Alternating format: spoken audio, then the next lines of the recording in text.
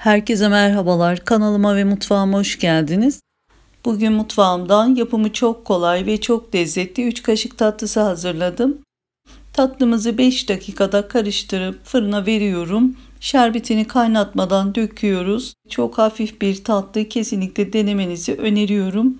Deneyecek olan arkadaşlarıma da şimdiden kolaylıklar diliyorum. Tatlımız için küçük boy borcam kullanıyorum. Küçük boy dikdörtgen veya yuvarlak kalıplarda kullanabilirsiniz.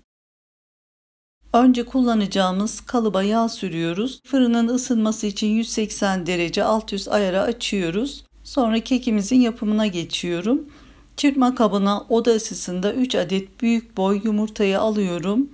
3 yemek kaşığı tepeli toz şekeri ekliyorum.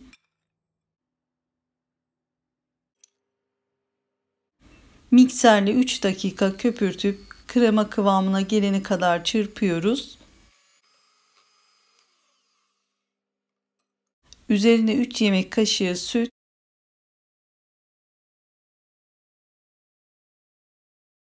Üç yemek kaşığı sıvı yağ ekleyip 1 dakika karıştıralım.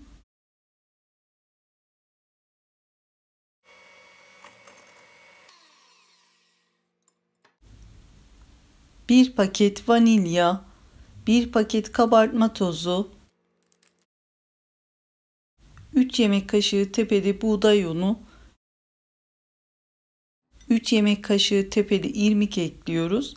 İsterseniz harcımızın içerisine güzel aroma vermesi için 1 çay kaşığı limon kabuğu rendesi ekleyebilirsiniz. 1 dakika çırpalım.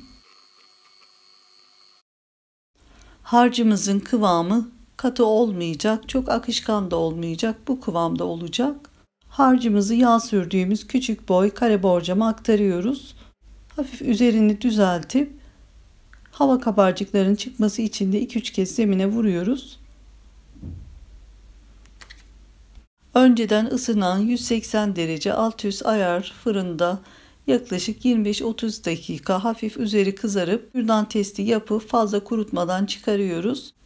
Kekimiz pişerken süt şerbetini hazırlıyorum. 1,5 su bardağı bir kasenin içerisine sütü alıyoruz.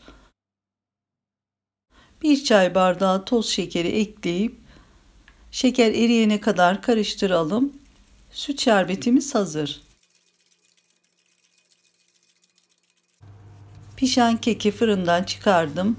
Kürdanı batırıp hamura bulaşmıyorsa kekimiz güzel pişmiş demektir. Soğuması için 5 dakika bekletiyorum. Soğuyan kekin üzerine kürdanla her tarafına batırıyoruz ve delikler açıyoruz. Şerbetin güzel çekmesi için.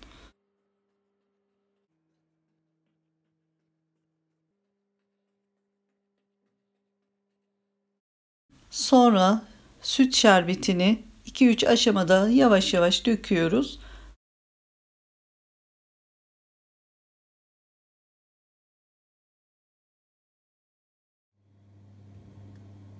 Tamamını döktükten sonra çekene kadar bekletiyoruz. Şerbetin tamamını güzelce çekmiş. Şimdi istediğimiz büyüklükte dilimliyoruz.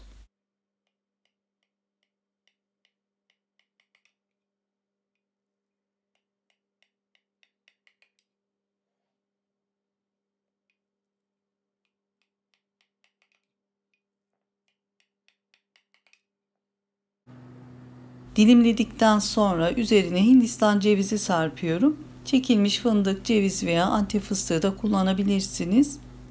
Arzu ederseniz üzerine krem şanti veya krema da hazırlayabilirsiniz. Sayfamda yaş pasta tariflerimde hazırladığım krema tariflerimden yapabilirsiniz. Bekledikçe tatlı içini güzel çekip hafif ve kabarık oluyor. Süt şerbetini tamamen çekmiş Tatlımızdan bir dilim servis tabağına alıyorum.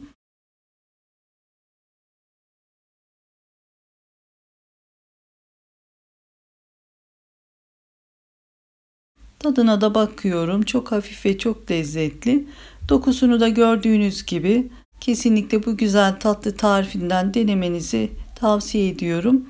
Videomu buraya kadar izlediyseniz, beğendiyseniz beğeni ve yorumlarınızı bekliyorum. Henüz kanalıma abone değilseniz abone olarak bana destek verebilirsiniz. Videomu izleyen herkese çok teşekkür ediyorum. Başka tariflerde görüşmek üzere. Hoşçakalın, sevgiyle kalın. Allah'a emanet olun.